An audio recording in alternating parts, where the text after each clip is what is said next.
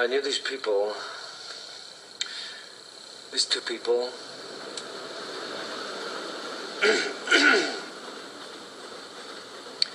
they were in love with each other. The girl was very young, about 17 or 18, I guess. And the guy was quite a bit older.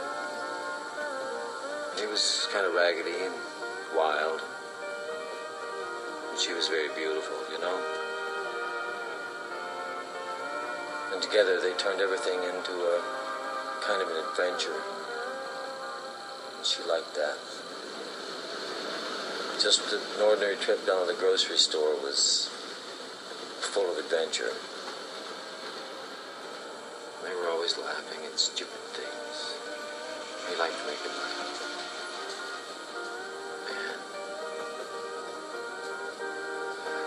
much care for anything else because all they wanted to do was be with each other. They were always together. And he he loved her more than he ever felt possible.